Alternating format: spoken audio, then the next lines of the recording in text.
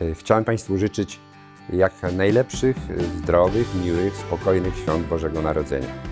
Ale aby to były święta wyjątkowe, e, to też i refleksji, abyśmy się zatrzymali, żebyśmy nie biegli, tylko spacerowali, e, żebyśmy nie klikali, tylko rozmawiali i żeby to był czas spędzony z najbliższymi i taki zupełnie, zupełnie wyjątkowy, w bardzo miłej, świątecznej atmosferze. A nowy, nadchodzący 2020 rok, aby był dla Państwa przede wszystkim szczęśliwy, bogaty, oczywiście zdrowy i żebyście Państwo znajdywali czas na przychodzenie do Bielskiego Centrum Kultury, a my ze swej strony zrobimy wszystko, aby warto było do nas przychodzić i uprzyjemniać sobie życie, rozwijając się duchowo, muzycznie, artystycznie, czyli kulturalnie. Jeszcze raz wszystkiego najlepszego i do siego roku.